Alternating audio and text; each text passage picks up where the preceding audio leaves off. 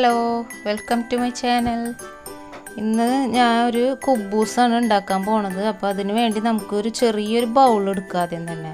ഇതിലേക്ക് നമുക്ക് ഈസ്റ്റൊക്കെ ഒന്ന് പൊന്താൻ വേണ്ടി മാറ്റി വെക്കണം. അപ്പോൾ ഇതിൽ അതിന് വേണ്ടിയാണിത്. ഇതിലേക്ക് നമുക്ക് ആദ്യം ഒരു ടീസ്പൂൺ ഇൻസ്റ്റന്റ് ഈസ്റ്റ് ഇട്ട് കൊടുക്കുക. ഇൻസ്റ്റന്റ് ആണെങ്കിലും ഡ്രൈ ഈസ്റ്റ് ആയാലും കുഴപ്പമില്ല. ഒരു ടീസ്പൂൺ ഇട്ട് കൊടുക്കുക. ഒരു രണ്ട് ടീസ്പൂൺ പഞ്ചസാരയും കൂടി ഇട്ട് കൊടുക്കുക.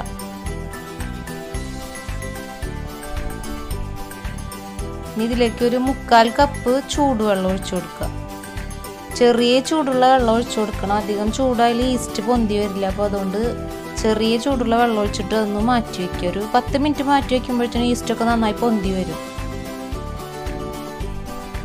ഇനി നമുക്ക് പൊടികളൊക്കെ ഇട്ട് കൊടുക്കാൻ വേണ്ടി നമുക്ക് വലിയൊരു ബൗൾ എടുക്കുക. അതിലേക്ക് നമുക്ക് ആദ്യം തന്നെ രണ്ട് കപ്പ് മൈദ ഇട്ട് കൊടുക്കണം. ഇനി ഒരു കപ്പ് ഗോതമ്പ് പൊടിയും കൂടി ഇട്ട് കൊടുക്കുക. ഗോതമ്പ് പൊടി വേണ്ടാന്നുണ്ടെങ്കിൽ മൂന്ന് കപ്പ് മൈദ ഇട്ട് കൊടുക്കുക. ഇനി മൈദ വേണ്ടാന്നുണ്ടെങ്കിൽ മുഴുവനും ആയിട്ടും ഗോതമ്പ് പൊടി ഇട്ട് കൊടുക്കുക. എങ്ങനെയായാലും ഉണ്ടാക്കുക. പിന്നെ അതിലേക്ക് കുറച്ച് ഉപ്പ് പൊടി ഇട്ട് കൊടുക്കുക.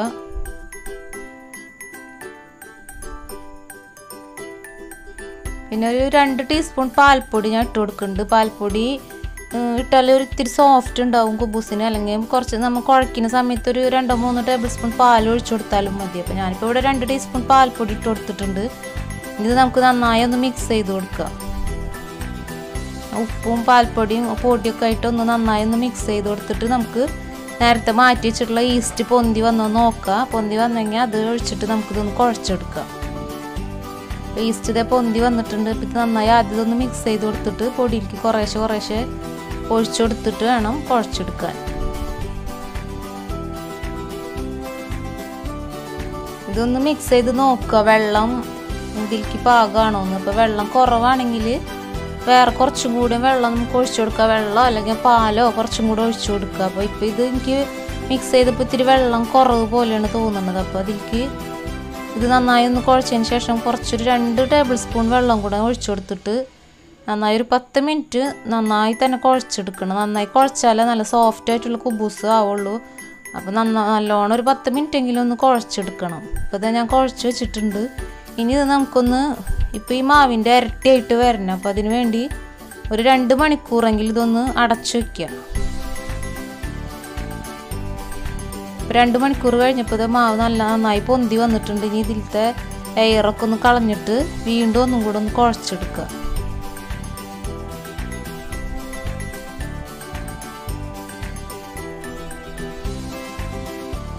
ഇനി നമുക്കിത് ഉരുളകളാക്കി എടുക്കണം. അപ്പോൾ ചപ്പാത്തിനേക്കാളും കുറച്ചും കൂടെ ഒരു വലിപ്പത്തിലുള്ള ഉരുളായിട്ട് എടുക്കുക.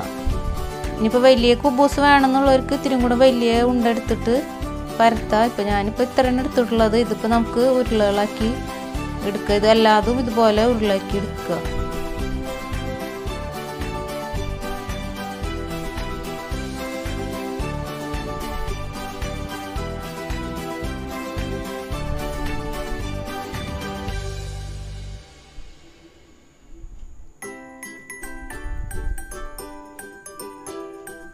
ഇപ്പോൾ എല്ലാതും ഞാൻ ഉരുളയാക്കി എടുത്തിട്ടുണ്ട്.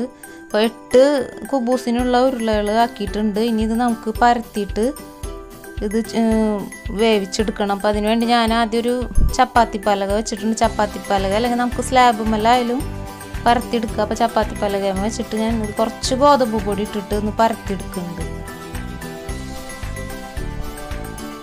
അധികം കനം കുറച്ച് ചപ്പാത്തിയുടെ പോലെ പരത്തണ്ട. ചപ്പാത്തിയുടെ അത്രയ്ക്കും കനം കുറയ്ക്കണ്ട. കുബൂസിന് കുറച്ചൊരു കട്ടി ഉണ്ടാവും അപ്പം അതിനനുസരിച്ച് പരത്തിയെടുക്കുക.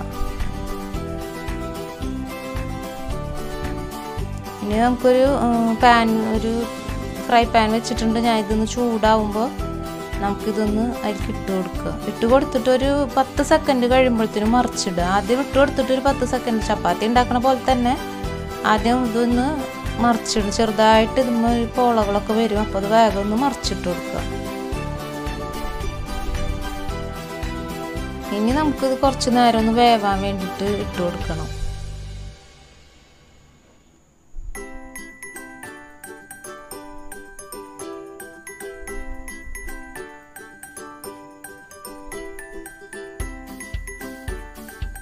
അപ്പോൾ ഇത്തിരി പോളായിട്ട് വരുന്നുണ്ട്. അപ്പോൾ ഒന്നും കൂടെ മറിച്ചിടുക. അപ്പോൾ പോള ഇനി ഇതൊന്ന് ഇങ്ങനെ അമർത്തി കൊടുത്താൽ അത് പോളായിട്ട് വരും.